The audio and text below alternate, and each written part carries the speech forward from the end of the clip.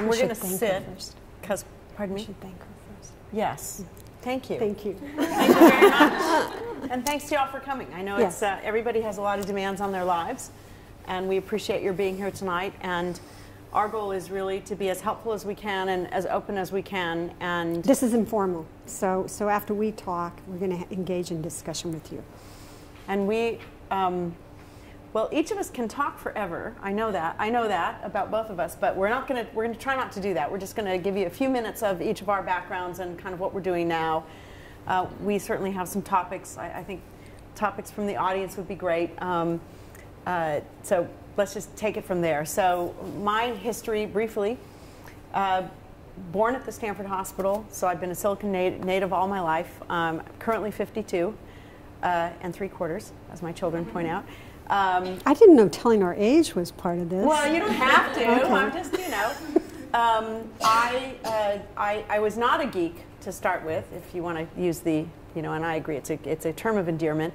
But uh, my undergraduate degree was in creative writing.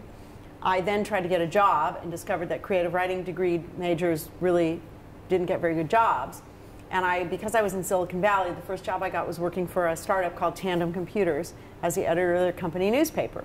When I was at Tandem Computers, I realized that everybody getting ahead in the business had either an MBA or an engineering degree, and I decided it was too late for me to get an engineering degree, but I could go back and get an MBA. So I went back to Stanford, I got an MBA. And then I was fortunate enough to have a brother who was a brilliant programmer. And remember, this is back in 1982 uh, it, time frame. He was working at the World Bank, and he realized that people kept asking him to write for, formulas for number crunching over and over and over again. This is pre-spreadsheet, and he came up with one of the early ideas for a spreadsheet called TMaker for Table Maker. That it made tables of numbers. He worked for the World Bank. The World Bank thought, fine, but we don't care about that. My brother wanted to start a company around that. Couldn't sell his way out, out of a paper bag, never wanted to talk to a customer or anybody for that matter. And I said to him, I will start your company with you and for you. Um, but you need to make me the CEO of the company because, because people want to meet with the CEO and, you, and you, you can be the programmer and you can be the big shareholder, but I want to be the CEO. My brother agreed. And that's how I got started. So started in um, 1982-ish. By 1983, graduated, started, long story short, ran that company for 14 years, raised two rounds of venture capital, sold it. Um, somewhere very late in that process, got married and had two children. In fact, had one before I sold it, one after. So, and that's a whole topic we were talking a lot about earlier today: is how do you balance all of these things. Um, I then went to work for Apple Computer, where I was the VP of Worldwide Developer Relations for a year. Uh, it is it is often said in America that everyone should own a British car once, uh, and in Silicon Valley, everyone should work for Apple once. And uh, kind of for the, many of the same reasons of that love hate exotic relationship. Well, I, I started at Apple. I was hired in the Mike Spindler administration. I started the day he was walked out of the building and Gil Amelio was announced as his replacement, and I left six weeks after Steve Jobs came back to the company, and that was all in a one year span. So, uh, worked for Apple for a crazy year, went off, became a venture capitalist, did that for eight years, and then uh, decided after the dot com boom and bust that I'd sort of had enough of that. Been on 20 um, something boards, uh, decided that what I wanted to do now was, was kick back a little bit. Um, I have teenage daughters, wanted to spend some, some more time with my daughters. I wanted to live abroad, I'd never done that. So, right now, for my career, I'm on two public boards. Uh, one of them is TiVo, which some of you may have heard of. It's a digital video recorder company, and we hope you'll hear a lot more about it in the next year because we have a big deal with Virgin we'll be rolling out here in the next um, year or two. And the other one is the Yellow Pages of Canada, which, um, which of course everyone knows what the Yellow Pages is, and everyone knows what Canada is. So that's pretty easy to explain. Uh, very interesting company. And uh, I'm also currently an entrepreneur in residence at the University of Edinburgh's uh, Business School's e-business club. And my email address is heidi at roizen.com, and I am happy to talk to any of you uh, anytime while I'm still here. I'm here till Christmas. So that's my story. And now I want to introduce my dear, dear friend Ruthann. Okay, so Heidi and I ended up in the same place from different directions at the, at the same time. I think we've known each other for probably 30 years, but we only really became friends about five years ago. Um, and I like, you know, people always like to tell you, particularly in Silicon Valley, if you're successful, I planned it the whole way, right? I knew that if I started that company, like my next door neighbors, the CEO of NVIDIA, just gave an engineering building to Stanford with his name on it, um, and Jensen Huang Engineering Building, and you know, like he knew all the way from the beginning that he was going to create this company. I'm sorry, that's bullshit. Okay, most of us luck into, like Heidi said, started out writing the newsletter, the careers that we have. So don't think when you're watching somebody that's, you know, made it that they knew, even with their company that they knew. It's a series of reactions, and, and if you're prepared and you're smart and you're willing to take risks, your company may succeed or you may succeed based on your ability to take the risk. I uh, was also not a geek, far from it. But when I, I went to Georgetown undergrad and uh, partial economics major, and we had an econometrics lab uh, with uh, some professors that started uh, a company that was doing econometric modeling, of which I knew zero.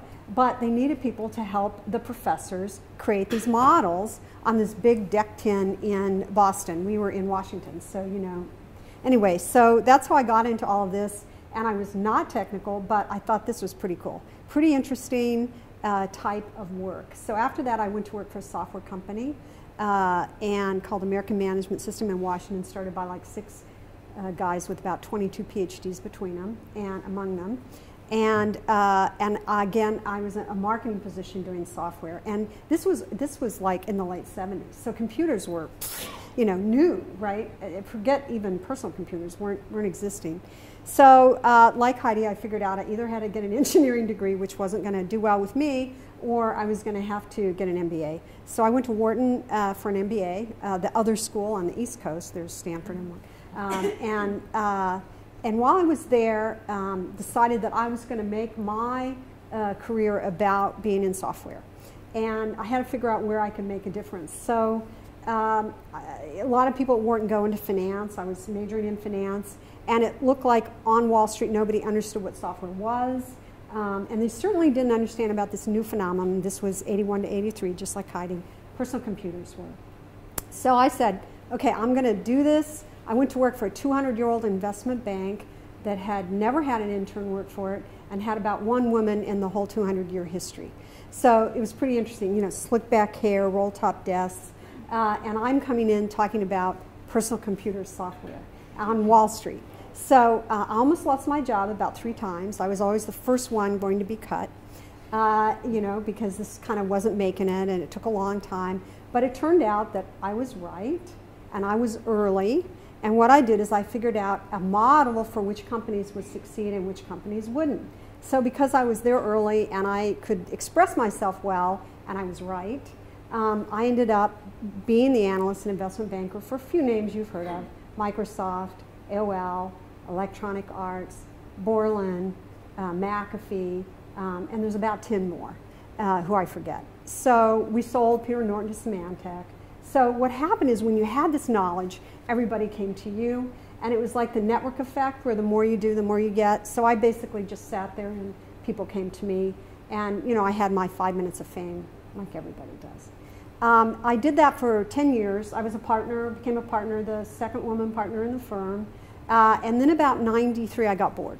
I was like at the top of my game. That's the time you leave. You know, you, you, you know, I knew that Microsoft was going to take it all over. It was starting to get dull, so I decided that I wanted to go into venture and do early stage companies, raw startups. So I joined a firm and became a general partner at Institutional Venture Partners. Was able to create companies from scratch. I did the first online gaming company on the net with uh, Jim Breyer, who is the lead guy on Facebook. So I think he got his, all his ideas from our experience, but you know, I don't remind him of that. Um, so I did that for 10 years. Um, and like Heidi, you never, you never stop doing it. I'm still meeting, we're still funding companies, it goes on forever. Decided to kind of lay back a little bit more, and I too am on boards. And the board that I'm on is a large company that's a competitor to TiVo. Um, and in fact, TiVo was a company that we uh, invested in the early stage at my, at my firm, uh, along with Netflix. We did TiVo and Netflix before anybody cared about television. the company I'm on is Rovi. It's actually got a $5 billion market cap now, um, which just happened in the last two years. We grew like from a billion to 5 billion. And uh, it's because television and technology, as you all know, is clashing. That's why I recommend all of you look uh, you're going to hear Marilyn speak about design. You want to look at areas, this is what I tried to do finance and technology. Could I explain software to Wall Street, right? Um, biocomputing is a really cool area now. Biology and computing, computation and computing. There's math professors now at the engineering school in Stanford. So these edge things is where I think the opportunities are. So you don't get super deep in one area, you get competent in one area, and then you kind of broaden yourself into the other. So that's about me.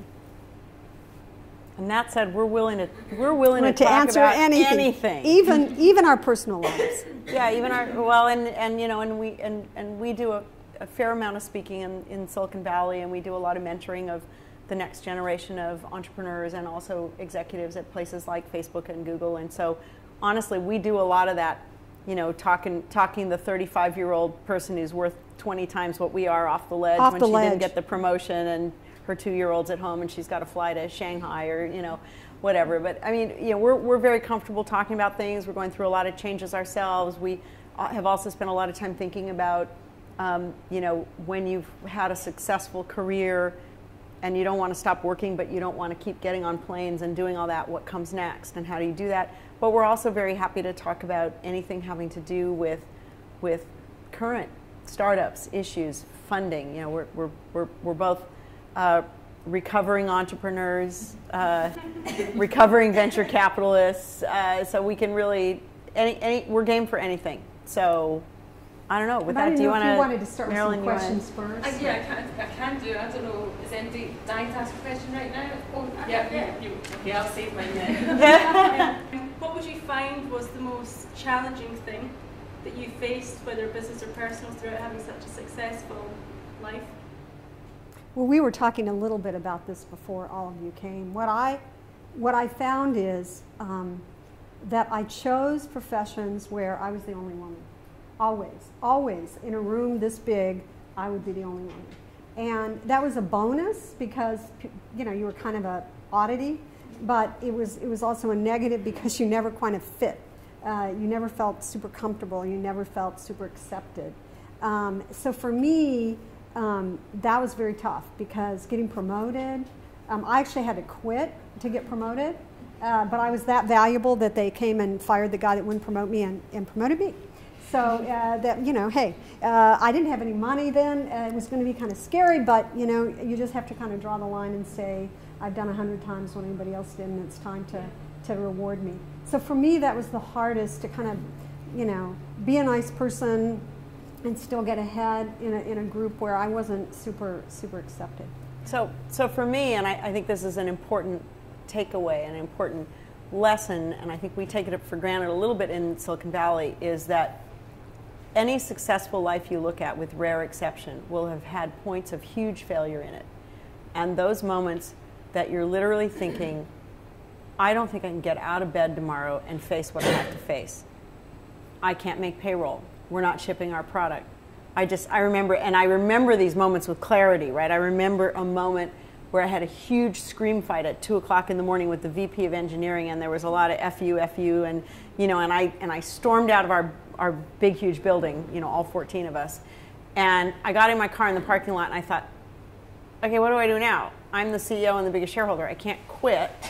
uh, there's no backup to the source code. Can't fire him, and it's three o'clock in the morning, and we're going to go out of business if I don't. So I had to get out of my car and go back up there. You know, I remember driving. You know, another one of those moments where you're you're big on paper, right? I was the president of the Software Publishers Association, which was our trade association. I was going to testify on Capitol Hill about the Software Rental Act. So a big, woo, isn't that girl important? And in the background, we had missed our, our, our, our beta wasn't going well and we couldn't ship the product and we literally could not make payroll the following week right? So so what i would tell you is is that the biggest challenges are I think the difference that defines successful people from not successful people is when you face that moment, you can either curl up in a ball and go run away and get a regular job, or you can say, I will make this work and I will just go I will just go in tomorrow and I will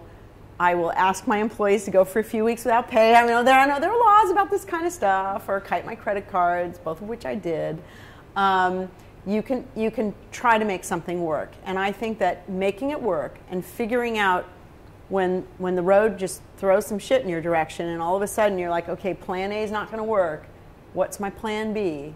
And how quickly can I pick myself up and lead, particularly if you're an entrepreneur, because you got all those little faces, it's not that different from being a mom, right? When you're a mom and those little faces are looking at you, you can't say, I don't know what to do. You have to say, okay, guys, pack your bags because we're going to Scotland. that's what we're doing now. But I, I, really think it is about, about just looking failure in the eyes. It doesn't mean you won't always fail. And, and I think that that's the, the second thing is you will fail and you have to be able to if you fail honestly and you and you fail because you, you gave it your best and just things outside your control happen somebody got funded that was better than you yeah. right? The market right. changed. Something happened.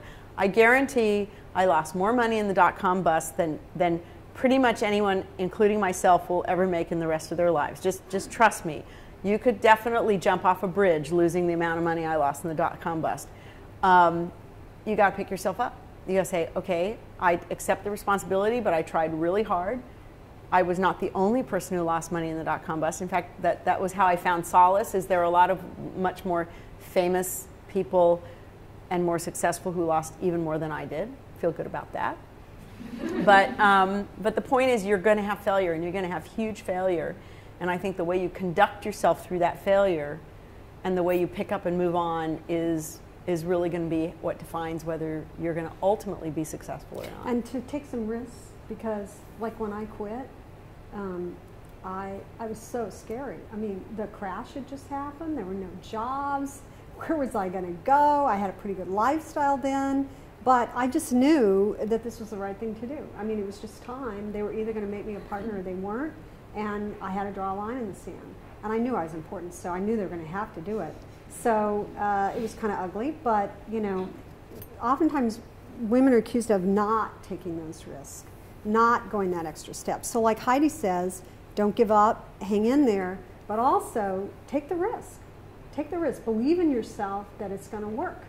Um, and uh, don't take the lesser path because that's the easy thing to do. You will regret that. Do you have a formula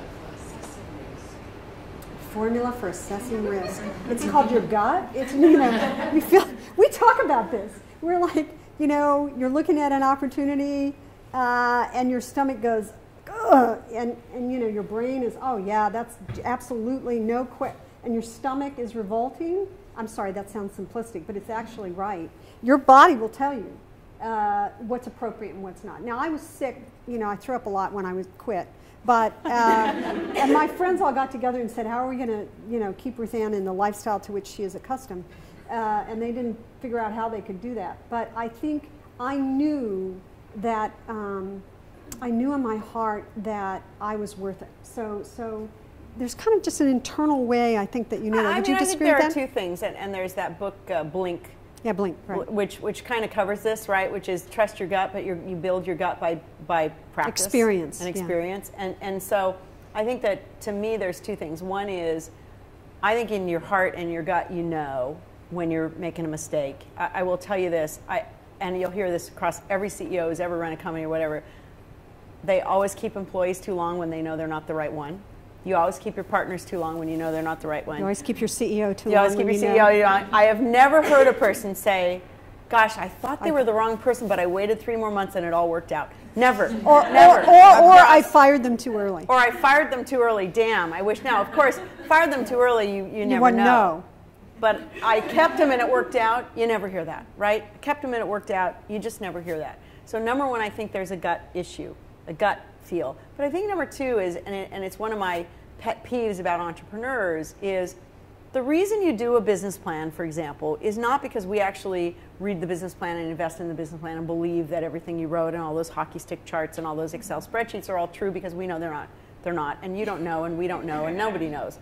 But the process helps you determine what are my big levers, what are my little levers. What happens if I misassess the market by 50%, by 80%? What happens if my cost of goods are double what they were going to be? What happens, what happens, what happens, what happens? And I think being, you know, to use an Andy Grove term, you know, being a little paranoid about this and doing that homework and anytime you hear about somebody who might be doing something anything like what you're doing, instead of running and sticking your head in the sand, going and looking at that, so you know, so you're informed. And it doesn't mean if somebody says to you, well, well, gee, you're doing a, you know, a giving site. Have you looked at Kiva? You can say, I don't know. Let me get back to you, and go, you know, consume Kiva and get back to them tomorrow. But I think doing the homework gives you an important understanding of the levers of your business, right? And and and one of the things that was most compelling to me, and I, I say this at one of my boards right now, is. Um, uh, the guy who wrote uh, Age of Spiritual Machines, you know, Ray Kurzweil. Mm. Ray Kurzweil, who has a who has a lot of really interesting material on the web, and I, he's another guy. I just encourage you to go look at his stuff. He's a little out there, yeah, but he has some really interesting stuff. And one of the things he said that really struck me is he said, an arithmetic, a geometric, and a logarithmic scale all look the same in the beginning, right? And they really do. And so when you are seeing one of those either on the way up or on the way down, it's really easy to talk yourself into it being something different. And that's really important. And so being able to understand that and being able to look at your numbers and know which of my numbers drive my business. Is it the number of users? Is it the transactions per user? Is it my um, average revenue per user? Is it my acquisition cost per user? Whatever it is, knowing that, knowing what your expectations are, and when your expectations are off either in one direction or the other, because, by the way, some businesses go out of business because they're so successful, but the problem is the they money comes after the first year they cannot fund. they, they literally go broke because they're too successful. You need to know that. And, and so I do believe that there's gut and there's homework. And it's the combination of the two that that so, make it work. Building on, uh, about 10 years ago, I wrote a book for first time entrepreneurs called Confessions of a Venture Capitalist. It's still it's on Amazon. Book. God knows why. Yeah, Heidi was kind enough to say nice things. Uh, half of it was taken out by my partners because you're not really ever supposed to say anything when you're a venture capitalist that exciting. But I got to keep in some recommendations in there about business models, which is really what Heidi's talking about. You have to understand the levers of what you're doing. Um, so, uh, when people come to us, um, they often don't understand those levers. That's one issue. They have not looked at what's out there already. That's the second issue. The, the third issue is um, what, what I would call the Google or Facebook phenomenon. They come in and they've got like an iteration on that because that was successful, so this tiny iteration on that should be successful too. Uh, it feels safe to, to say that. Uh, and you'll see, you know, 100, uh, you know, once one company is ultra successful, 100 of the same, which is just a total waste of time. You know, you ought to be innovating, right? You're, you have got somebody's ear, you've got a chance, you're not going to have it again. Uh, you need to be innovating in a big way. Um, and then we had one more thing. Uh, so oh, the 95%. Oh, yeah. We were 95%. talking about this last night over a lot of wine, and so we had really big ideas that we can't remember right now. But, but one of them was we, we were talking about sort of pet peeves with entrepreneurs. It's kind of our, you know, because now we have the luxurious position of having been entrepreneurs ourselves. Now we get to be venture capitalists and just pick on entrepreneurs. but one of the things we see over and over again is the, the entrepreneur will take it 95% of the way, right? They will come up with a great idea, they will make it 95% of the way easy, and then they will expect the customer to fill in the last 5%. And you know what? Customers don't fill in the last 5. And that's the hard part. And, right. and, and you know, if you ask, you know, why is Amazon successful? Right? Why did Amazon succeed when so many people failed? And I really believe, and, and Ruthann knows much more about Amazon than I do, but I'm going to give you my answer. First of all, they had enough money to make it through a lot of iterations. And second of all, Take all, some risks. Jeff Bezos understood that he had to get you from the moment you thought of something to the moment you bought it from him in the fewest possible steps. right? I went to a speech he gave in 1998 or whenever when I was shorting Amazon because I was looking at the money they were spending. I was thinking, there's no For way their can- infrastructure. there was mm-hmm. no way you're going to build success. I, I lost money on Amazon. I am one of those people. And though I at least covered my short after I, after I heard his speech, because he said, what do you, somebody asked him, what do you wish computers, what, what do you, could you wish you could change about computers? And he said, instant on. I wish just computers were on all the time. Well, of course, that happened a little bit, you know, later because people just leave them on all the time. And then they said, and what is the thing you're most trying to get to? And he said, the one-click order. That, that, that I just want you, and I'll tell you, man, I spend so much money on Amazon. And the first thing I did when I came here is tried to figure out whether my Prime account in the US would work here and how to get shipped to Mayfield Terrace where I live because And the whole Kindle thing is a is an And the whole Kindle thing is too. another it's one like of okay, let's just make it easy. make it easy. And My husband is on his fourth Kindle. Um, Well, and I have an I iPad, has- and I spend more money on the Kindle store than I spend on the Apple store. I asked him uh, before I came uh, how many books he had in there he hadn't yet read. Fifty-two.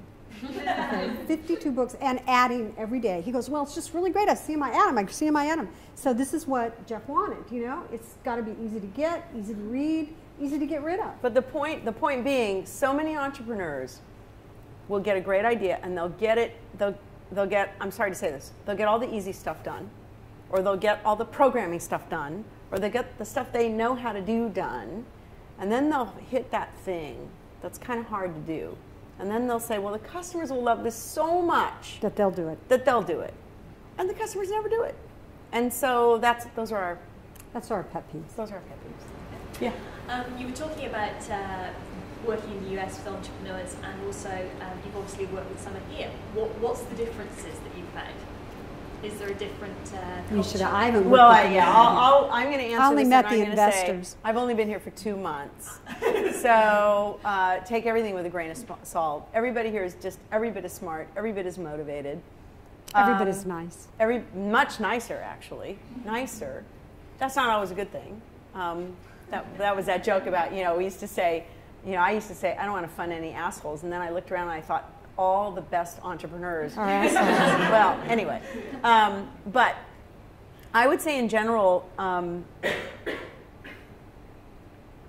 your culture doesn't accept failure the way our culture accepts failure. It's very hard to be an entrepreneur if you're unwilling to fail. Because if you're if you're unwilling to fail, you will only you will Small. You'll go you will very go small. and you'll reduce risk. So that's the first thing. The second thing is you underestimate how much entrepreneurship goes on in your country. Because I walk down, you know, the street where I live, right, map. and there's a hundred entrepreneurs on the street. They have restaurants and they have bars and they have this and they have that and they have little, you know, they're fixing shoes and they're doing. There's nothing wrong with that, right? That's not go public, fundable, whatever. But that's build a be do something you're passionate about, build a great lifestyle, have a great business. That's very entrepreneurial. So the idea that this country is not entrepreneurial is really I think is not true. But the risk aversion, and, and I don't know how you fix the cultural aversion, is, is a challenge. The second thing is we live, for better or worse, and there's a worse to this. In a bubble. we live in the epicenter of all venture funding. We right? live in a bubble. 33% of the world's venture capital is within a half hour drive from where we So live. you have you have universities that are geared towards creating entrepreneurs, engineers and computer science and business and everything. You have lawyers that will work for free because they know that if they own that stock, they're going to be wealthy one day. So they are willing to take this. You have accounting firms that will do the work for you for free for the same reason. So you have, and plus you have the venture community there, and So- the angel community. and the angel a thousand people who each are worth 20 to 20 million to a billion. who will who, Who will, will write who you a will check. get these things started. And so the whole thing is very supportive of this. And this is why it's been so hard to recreate this someplace else. Universities say, okay, we're going to build Silicon Valley here, and you got to have the whole thing working uh, before it before it does work. But the but the flip side of that is not every company is one that should raise money or one that could raise money. Not every idea is going to be a multi-billion dollar takeout. And that's okay. I know a lot of people have really nice lives who didn't build Google or whatever and and and Ruthann and I have the perspective to know we know a lot of the people who did build some of those really big companies who are Having worth billions of dollars who have terrible lives. So, in terms of sort of like how much money you're worth and how good a life you have, the correlation is remarkably low. It just is. In fact, there's an inverse correlation. In fact, we'd argue, yeah, we would argue there is an inverse correlation. And so we've had the good fortune to have the front row seat at watching some of those situations.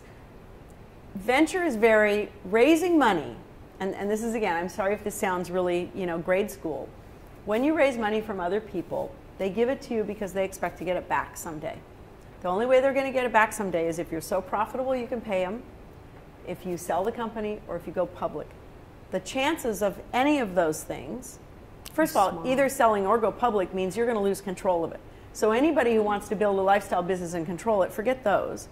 The third answer of if you're going to pay them out of your profits, well, I hope they're like your uncle or something. Because it's because anybody who owns stock in your company, if you are so profitable you can pay them out of profits, they're going to want something else. And so I, I just think there are a lot of businesses that just don't make sense to get risk funding. That doesn't mean they aren't good businesses. And in our valley, the downside of where we live is everybody thinks they have to build the next Facebook or the next Google or the next something. And what you guys don't hear about are, for every one of those, 100,000 failures, right? And, and if anybody doesn't know the economics in venture investing, the economics are more than, and these are the economics among the best venture firms with a, and I'm talking about 20 years of history, because I did this once for, for um, the National Venture Capital Association. I got the limited partners to aggregate their da- data. More than half of the deals of invested across a 20 year span across all the best venture capital firms never return their capital. So here's a business proposition for you. I'm Start asking you for money, more than half a chance you'll never see a dime of it. Okay, let's just start there. Then you got about 30 to 40% of the businesses who will return Turn. capital to maybe three times capital. Okay, but you already lost half of your capital. That's not going to make up.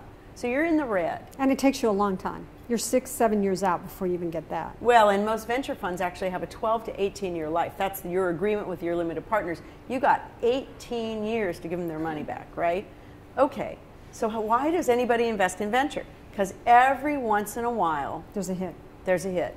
And the interesting thing about the venture business is those hits Pay for everything else. They pay for everything else. And so when you're in a Google or you're in an eBay or you're in a Yahoo or you're in a Skype or you're in a, you know, Hotmail or you're in a, you know, there's different things on the spectrum. The point is, in venture, because of the way the model works, it takes those outliers. And therefore, we need those outliers. And in Silicon Valley, we are the land of the outliers, right? We are the land of the Googles and the Ciscos and the Apples and the whatever.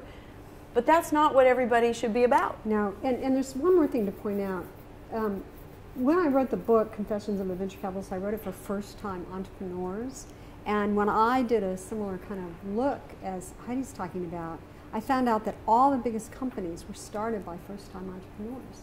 All of them. 100% of them. Why is that? I mean, there is a culture there that you can fail and start again, but usually they're too wise to do it. They're like, okay, I'm not going to kill myself again. I'm not.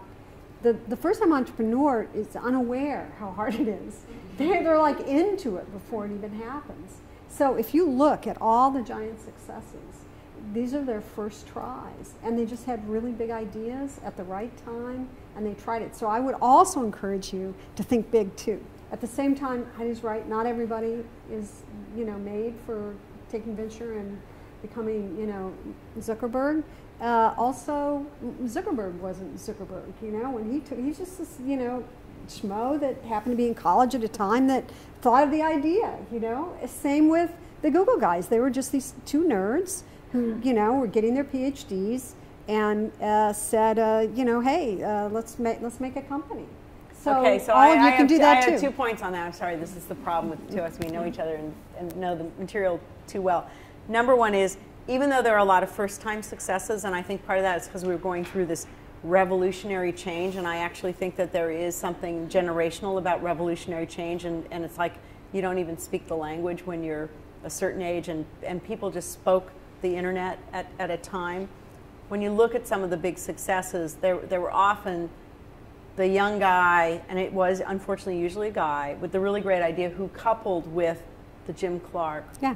or the or or the John An Doerr angel that or helped the them, or a somebody, VC that helped or them. the or you know the Eric Schmidt or the somebody who was the adult supervision who could help them navigate that stuff. So while I would say yes, a lot of those things were first time entrepreneurs. They had a they had, They had a team mentor. behind them. They had a mentor. The other one, this is just totally irrelevant, but because this this social network movie is coming out here this week and came out and all the buzz at home. I will tell you, I, I, I had to run a panel one time. Mark Zuckerberg was on the panel. This was a couple of years ago. And I said to his PR team, Can you send me his bio? And it was like, Mark Zuckerberg went to Harvard. and I and I said, you know, I'm in. I and I was introducing the other people on the panel where the guy who started PayPal and the guy who started, you know, some other people had uh, some things you could say, right? And I called his PR person and I said, "Can you give me some more about Mark Zuckerberg?" She said, There "What do you want?" he went to Harvard. That's it. That's all we have. I said, "Does he have like a favorite band or favorite color? Or can I can I just something, right?" And so then she said, Yeah, his favorite band is, you know, I don't remember what she even said, right? So then when I was introducing him, I said, This is Mark Zuckerberg. He went to Harvard and his favorite color is blue and his favorite band is something. And he looked at me and he goes, That's not my favorite band. And it was like one of these moments where I'm like, Oh God, you know, why did I even try? But it was it was very funny. He was he was actually very good. Do you have any other questions? Yeah, I was going to ask, seeing as we're in a university, this might be a bit boring, but um, do you think we should be teaching specifically computing science students in my case, do you think we should be teaching them how to think like an entrepreneur? Great or is that question. This is a great we can't question. From the actually- map store. Uh, yeah, and I and I, I don't know. I actually don't know your position on this. Well, let's hear your I, position. I actually don't think you can teach entrepreneurship. Um, I think you can. Uh, my, my husband taught a course at uh, Stanford, and, and Larry, Larry Page was his was his student. So this is really interesting. Uh, did he teach Larry Page uh, to be an entrepreneur? No. But what he taught Larry Page was he, he did some uh, business models and, and some business cases with real entrepreneurs talking about what they were going through. Was that helpful for Larry Page? Absolutely. So the reason I think you can't teach entrepreneurship is it's so experiential. Um, what you can do is learn from others' mistakes. So I think in the sense of, and that was one of the reasons I wrote my book, is it was made filled with mistakes, is you can look at what other people have done and try and learn from that. You can't learn from success. Because as I said, the person will say, oh, I knew from the beginning, do this, do this, do that, and I'm like a billionaire. Oh yeah, how am I going to copy that? But you can learn from their mistakes, from companies that have failed, from entrepreneurs that have failed. And in that regard, I think it is a body of knowledge that you could teach. And um, you could do it through cases, or you could have people come in to talk about the mistakes that they made. So What was your line that yesterday in the map store? Luck favors the prepared, Prepared mind. mind. Luck favors the prepared. And So- nine tenths of it is luck. So I, I, I will give you the opposite, you know, side of that story is I believe there are people who are just destined to be entrepreneurs, just like there are people who are destined to be world athletes, right? I mean, they're, they're just, you can't teach someone to be the best runner on the planet.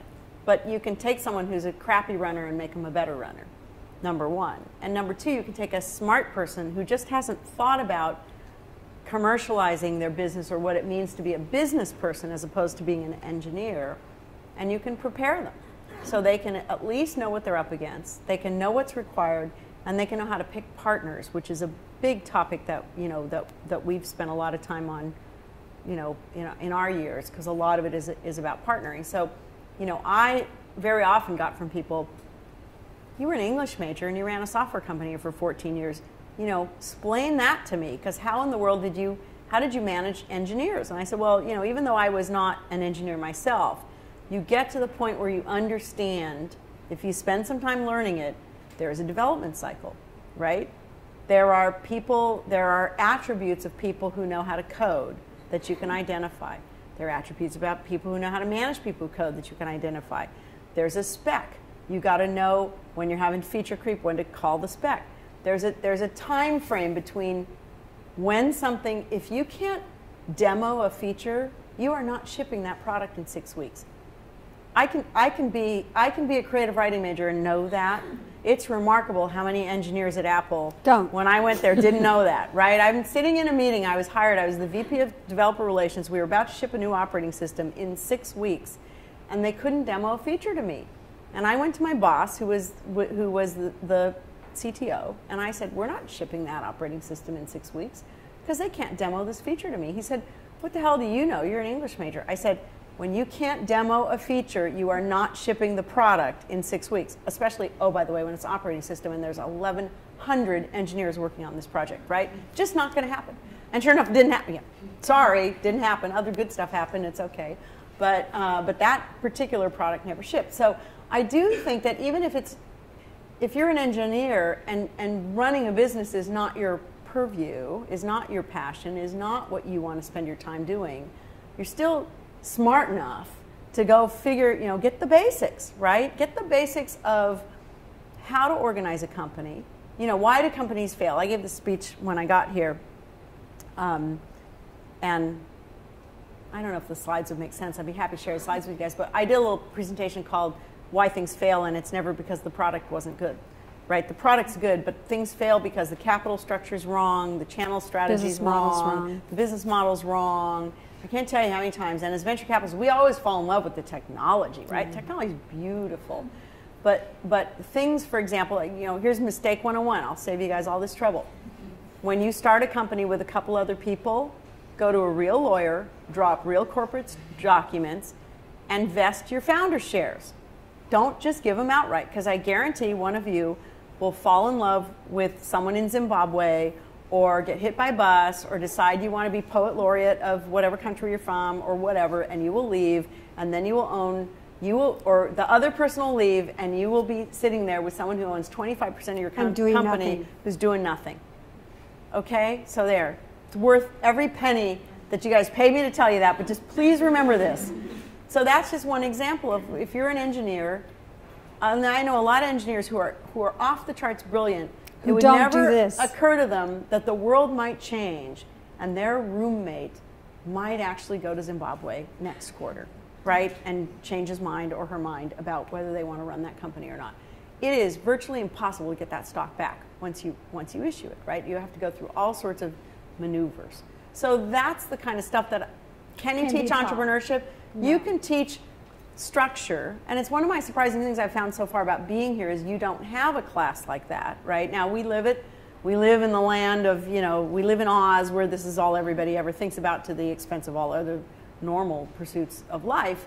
But in, in Oz, you go take that class. And they're competing. At Stanford, there are probably seven different classes that compete Yeah. with each other about starting a company that will go through here's your capital structure here's here's all about intellectual property protection here's about hiring and firing here you know employment law here's about channel strategy here's how to build a business plan and a spreadsheet and blah blah blah again not because because because cash flow is the lifeblood of a company and if it never occurs to you that the money has to come in before you can send it out again you might have the greatest idea in the world but you might go out of business so i do think you can teach that You can teach that. The infrastructure of entrepreneurship, you can teach. The, the, the art of being one, not really. I don't think. So, Unless everybody's desperate, desperate to ask one Right, last I quick see that. question. Okay, that can count as the last quick question then. Um, you touched on trying to encourage your brother to think about marketing. Um, how I work in uh, communications and work with a lot of technology clients, and we're brilliant, but trying to make the transition to encourage the marketing side can be a challenge. And I just wondered if there's any lessons you'd like to share. Well, this is the, the, the, the biggest thing that kills companies is the idea on the part of the engineer that the solution is so brilliant everyone will just omnisciently be aware of it and come buy your product, right? So, so the problem is getting people to buy your product costs a lot of money. And in most companies, if you go look at, go look at, go look at the cap tables of public companies, R&D is a lot smaller line than marketing. It always is, um, except maybe in it's like pharmaceuticals. But in, 30%, in pharm- yeah. yeah, in tech companies, It's 30%. it's like so 30% versus being 8, nine, yeah. Something like so, so it's a so number one, it costs money, and um, and number two, it's rapidly evolving, right? So I mean, I think one of the fascinating things about today, and this is where it's great to be a student of other people's models and go look at what's working and what's not working. And you know, for a while the buzzword was viral, and now it's social network, and it's this and It's that, it's new geolocation, and it's I don't you know whatever crowdsourcing or this or that or whatever. But there's merit to all this stuff. But I think understanding that it actually costs money to tell people, even when you've when you've created the greatest thing on the planet, it costs money to let other people know that, that it exists and they should buy it.